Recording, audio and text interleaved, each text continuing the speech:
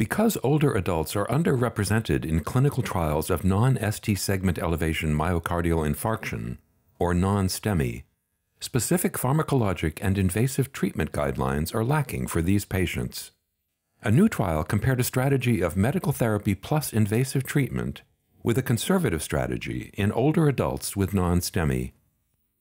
In this randomized controlled open label multicenter trial, 1,518 patients 75 years of age or older with non STEMI, including patients who were frail, cognitively impaired, or had a high burden of coexisting conditions, were assigned to an invasive strategy of coronary angiography and revascularization, plus the best available medical therapy, or a conservative strategy using only the best available medical therapy.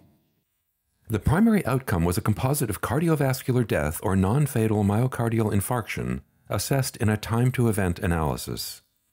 Over a median follow up period of 4.1 years, a primary outcome event occurred in 25.6% of the patients in the invasive strategy group, as compared with 26.3% of those in the conservative strategy group, a difference that was not significant. Procedural complications occurred in less than 1% of patients in the invasive strategy group.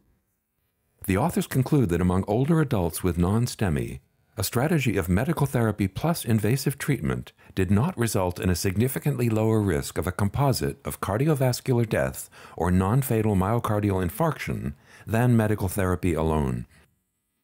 Full trial results are available at nejm.org.